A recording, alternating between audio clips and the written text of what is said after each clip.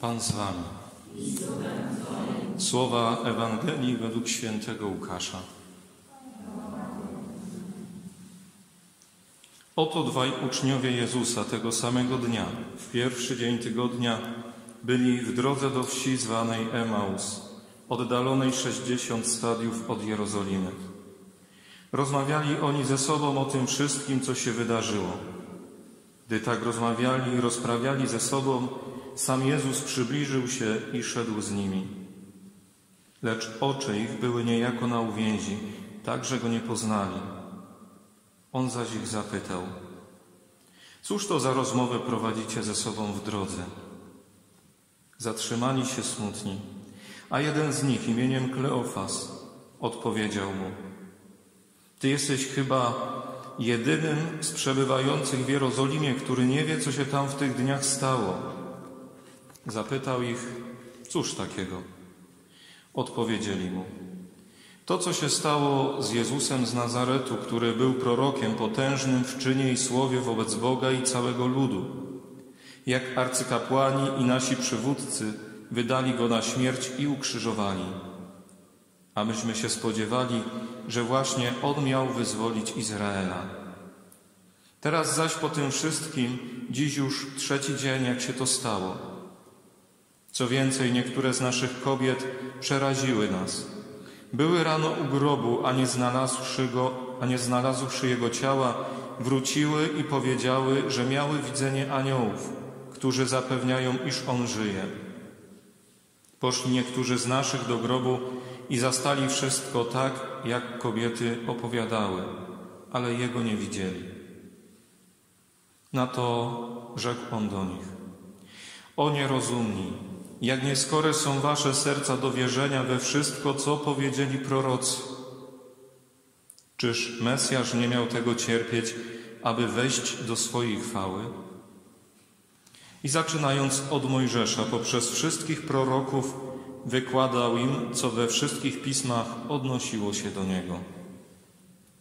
Tak przybliżyli się do wsi, do której zdążali, a on okazywał, jako miałby iść dalej. Lecz przymusili go, mówiąc: Zostań z nami, gdyż ma się ku wieczorowi i dzień się już nachylił. Wszedł więc, aby zostać z nimi. Gdy zajął z nimi miejsce u stołu, wziął chleb, odmówił błogosławieństwo, połamał go i dawał im. Wtedy otworzyły się im oczy i poznali go, lecz on zniknął im z oczu. I mówili nawzajem do siebie: Czy serce nie pałało w nas, kiedy rozmawiał z nami w drodze i pisma nam wyjaśniał? W tej samej godzinie wybrali się i wrócili do Jerozolimy. Tam zastali zebranych jedynastu i innych z nimi, którzy im oznajmili: Pan rzeczywiście zmartwychwstał i ukazał się Szymonowi. Oni również opowiadali, co ich spotkało w drodze i jak go poznali przy łamaniu chleba. Oto słowo Pańskie.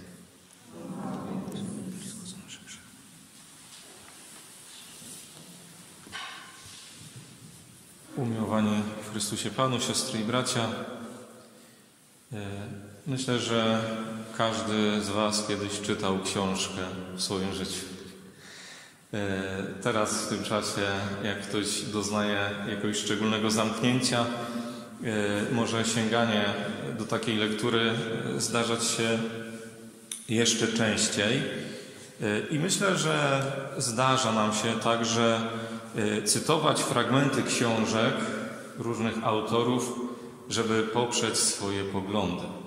Chcemy coś udowodnić drugiej osobie za wszelką cenę i pokazać, że to my mamy rację, że prawda jest po naszej stronie, dlatego na poparcie swoich argumentów potrafimy zacytować jakiegoś autora, żeby podeprzeć swój autorytet tym, co mówią także inni.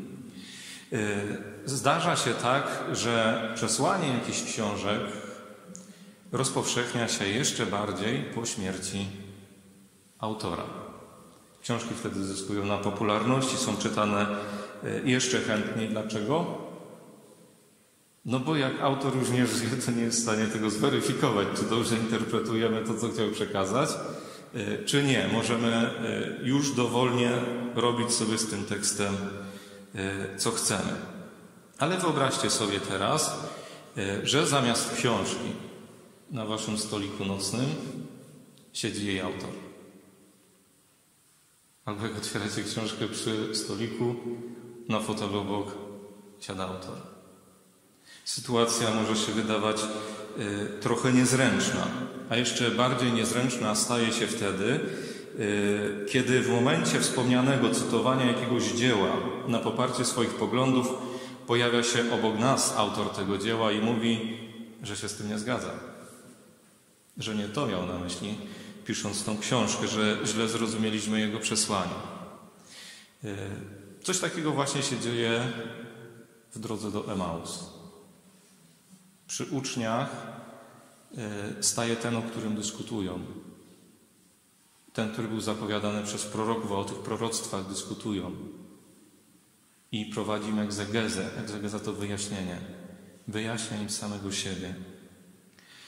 Y, przy uczniach uciekających y, od swoich wyobrażeń, bo nosili w sobie jakieś wyobrażenie Mesjasza politycznego y, i ta droga do Emaus to droga ich ucieczki. Na tej drodze staje tajemniczy wędrowiec, właśnie pokazując im prawdę, pokazując im siebie. Jednak oczy, jak słyszymy, są zakryte. Biblia Tysiąclecia tłumaczy, na uwięzi. Mm, są zamknięci na punkt widzenia y, inny niż ich własny, niż ten, który już sobie wypracowali. Pogodzili się już ze śmiercią Jezusa. Już sobie jakoś to zaczęli y, układać, dlatego prawda o zmartwychwstaniu y, nie mieści się tym, co już sobie ułożyli w głowie. Dlatego nie zauważają zdania drugiego człowieka. Nawet zobaczcie, nie zauważyli na początku jego obecności. Idą, dyskutując, nie widząc, że od jakiegoś czasu porusza się z nimi trzeci wędrowiec. E, skoro są zapatrzeni tylko w swoje potrzeby, w swoje oczekiwania, e, które inni powinni wobec nich realizować, e, to widzą naprawdę niewiele. I nie są w stanie dostrzec Boga z prawdą, który jest tuż obok. Co przykuło tak bardzo ich uwagę? Y, o czym tak zawzięcie dyskutują? Skoncentrowani są na męce i śmierci mistrza z Nazaretu. Y, na swoich marzeniach i oczekiwaniach, które z nim wiązali, a teraz wraz z nim umarły. W tej dyskusji pominęli jednak największą informację tamtych dni. Mówią o niej, ale w ich dyskusji, w argumentacji, którą przyjmują, w ogóle jest nieobecna prawdę, że Jezus żyje, że Jezus zmartwychwstał. Y, to dla nich niemożliwe. Jak słyszymy, to ich nawet przeraża, że taka opcja wchodzi w grę. Święty Augustyn mówi, że właśnie dlatego nie rozpoznali Jezusa jako zmartwychwstałego, bo uważają go y, za definitywnie umarłego. Uznali go za definitywnie umarłego, dlatego wchodzi w ogóle w grę prawda o Jego zmartwychwstaniu. Krzyż nie zmienił ich zdania o Jezusie, nadal uważają Go za potężnego w słowie i czynie proroka, ale już niestety umarłego. A Jezus jest z nimi. Na początku się przysłuchuje, a później zadaje pytania, żeby pokazać swoje zainteresowanie, y, żeby pokazać, że jest dla Niego ważne to, czym żyją ci dwaj uczniowie. Ciekawy jest ten moment, kiedy pada pytanie z Jezusa, e, bo to pytanie ich zatrzymuje. Zobaczcie, że e, uczniowie, którzy udzielają odpowiedzi, udzielają jej stojąc. Idą w drodze, pada pytanie ze strony Jezusa, a oni stają jak wmurowani. Smutni z poczuciem tego, że są przegrani, bo to słychać w tym, co mówią. I po tym, jak wyrzucili z siebie swoją frustrację, y, znów słyszą słowa, które nimi wstrząsają. Co słyszą? O nierozumni, jakże nieskore są wasze serca do wierzenia w to wszystko, co mówią prorocy. Oni sobie powybierali tylko niektóre proroctwa. te, które pasowały do ich wizji Mesjasza, o Jego chwale, pomijając wszystkie proroctwa o cierpieniu. A przecież takie też były. Yy, oczywiście przekład polski, pobożni nasi bibliści, złagodzili. Yy, Jezus używa bardzo mocnych słów. Yy, możemy równo, również dobrze yy, przetłumaczyć te słowa. Jesteście tępi i leniwi. Jesteście tępi i leniwi. To słyszą ci uczniowie z Jezusa. To musiało nimi wstrząsnąć. Może sobie pomyśleli, gość ma tupet, ledwo nas zna i od razu nas w taki sposób ocenia. Ale zdaje się, y, Ewangelia o tym nie wspomina wprost, ale tak można wywnioskować, że właśnie od tego momentu zaczynają iść dalej. Ruszają w drogę, a Jezus w tej drodze zaczyna im wyjaśniać siebie. Pokazuje im swój plan zbawienia, że tam jest miejsce na mękę, na cierpienie, jest miejsce na zmartwychwstanie, na to, co im się nie mieści w głowie. I y, teraz jasno widać, że do wiary w zmartwychwstanie dochodzi się jednocześnie rozumem i sercem. Ten zarzut, który pada z Jezusa. Nierozumni, czyli co się stało, co wam przyćmiło umysł. I leniwego serca, czyli nie angażujecie się sercem w to, co przeżywacie. Czyli y, do prawdy o zmartwychwstaniu dochodzimy przez poznanie oraz decyzje, które temu poznaniu towarzyszą. A skoro są decyzje, to pojawiają się również emocje, czyli przeżycie. Y, nierozumni i leniwego serca.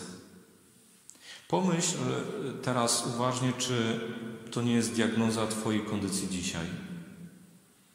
Tego, w jakim stanie y, dziś Chrystus Ciebie zastaje. Może w jakimś stanie właśnie takiego otępienia, związanego z przeżywaniem wiary, z odkrywaniem osoby Boga i Jego planu, w tym wszystkim, co się dzieje, całego tego zamętu, niepokoju, lęku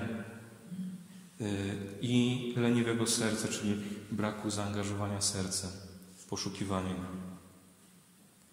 E, tak wiele spraw na głowie mamy, wszystko przeraża, tak wiele rzeczy mnie przerasta, a myśmy się spodziewali, że wiara nas od tego uchroni.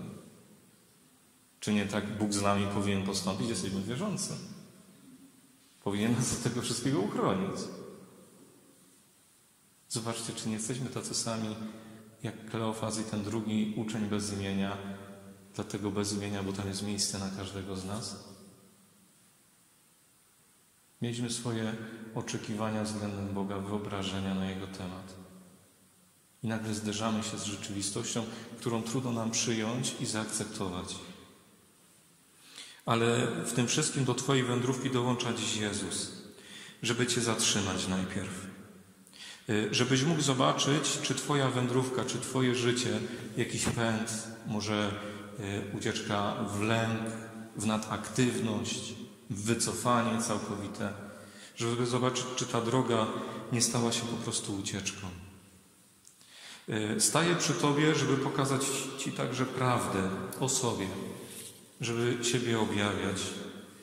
Y, może się okazać, że jest całkiem ta prawda inna niż Twoje oczekiwania, niż Twoja prawda, którą sobie zbudowałeś ale tylko prawda zawarta w Jezusie nas zbawia. I później rusza dalej z Tobą w drogę, bo żyje, e, bo zmartwychwstał, bo jest tu dla Ciebie obecny. Jezus Chrystus zmartwychwstał, żyje, jest z nami aż do skończenia świata. E, to jest przesłanie dzisiejszej niedzieli. To jest orędzie czasu paschalnego, naszego życia. To jest też klucz do właściwej interpretacji Pisma Świętego Bożego Objawienia. Wiara w zmartwychwstanie i w obecność żywego Boga w tym Słowie. Tym się różni Biblia e, od innych książek. Czytamy ją w obecności autora. I to nie jest żaden obraz, parabola, tylko to jest prawda zbawcza. Bóg jest w swoim słowie. W obecność y, namacalną to słowo wchodzi. Zobaczcie, słowo w czasie staje się ciałem. Ale nie jednorazowo, bo kiedy y, wprowadzamy to słowo w czyn, ono przez nas nadal może stawać się ciałem.